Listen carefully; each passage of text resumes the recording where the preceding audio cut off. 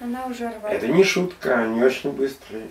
Смотрите, 15 минут, пока мы Пока здесь мы- говорили, Да. вот это уже...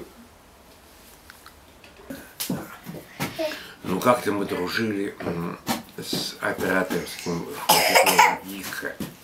Ребят, операторский факультет ГИКа это пиздец. Представь себе, э, наш любимый друг э, Гоша Савченко, сын довольно знаменитого советского ре- режиссера и кинооператора э, Савченко. Ну, представлял из себя ну, тяжелые, в общем, последствия. Ну, представь себе мальчик, которого воспитали три любящих еврейских женщины. Что из этого получается? Ну, полный пиздец. Представляешь, любящих еврейских женщин.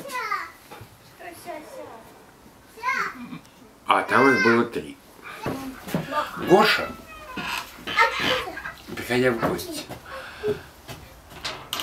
самым тщательнейшим образом э, вилку протирал особым платочком, которым давали э, мама с бабушкой. Он кончил операторский факультет из ГИКа и пригласил нас в качестве ассистентов. А, для э, его дипломной работы. И мы, значит, поехали в Полхов Мадан, мы, всё сделал- мы также серьезные, сделали разработку, ходили по бабушкам, дедушкам, видели, что Гоше не- это неинтересно. Потому что Гоше было интересно. В середине Полхов Майдана находится огромная, страшная лужа. Так вот, ему было интересно лежать рядом с этой лужей и смотреть, и снимать, как она колышется. Ну, когда там приезжают всякие трактора и Это был тот же самый Гоша, а мы уже там шашлык-машлык жарим. Представьте, Гоша лежит в этой луже, фактически, аппаратом, и снимает, как она колышется. Мы говорим, Гоша, пойдем, пойдем. То есть я говорю о профессиональном и человеческом. И Гоша стряхивает себя эту грязь. Тараканов и все, что на него налипло. Подходит к нам и столь же тщательно, как всегда, вытирает, протирает вилку. Потрясающе. Полхом Майдане естественного ходит. А потом оттуда выходит другой Гоша, тщательно протирает руки и тщательно вытирает вилку. А потом с Гошей была совершенно потрясающая история.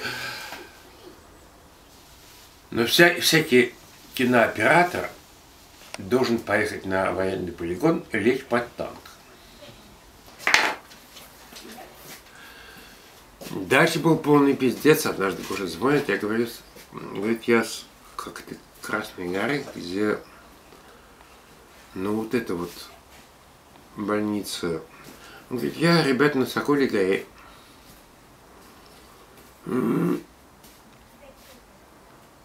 От- У меня все отобрали и... Ну, Гош, что ж ты сделал? Ну, в общем, оказывается, что он лег под танк. То есть представь себе это совершенно вот, ну, ты можешь себе представить вот такое создание, которое три еврейские мамы, женщины, любили на улице Горького. Ну, в общем, Но под танк должен лечь, лечь каждый кинооператор. Гоша лег. Ну, конечно, получил в жопу какой-то гвоздь. Э, ему сказали, что у него гепатит Б. И Соколь- с- вот эта вот Соколиная гора, ну, к счастью, оказался А. Но это вот прекрасная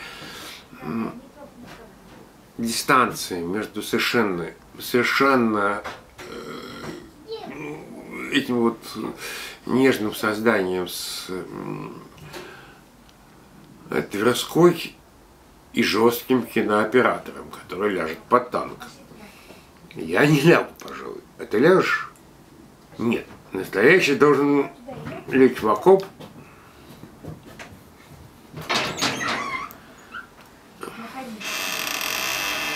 Специально расставить камеру и настоящий. Иначе он типа и не кинооператор. О, Вот эти вот, эти вот э, в гиковских, в гиковских невозможных Что? О, машинка, спасибо. О, все, я научил- гуманитар. Машина не интересуется. О, уже вылезла. Пусть они там будут часть, частями, потому что мне кажется, что если они там все, они... Нет, не- ничего страшного, для них это не важно. А, они обеспечены пищей. Улитка, улитка, высуни рога.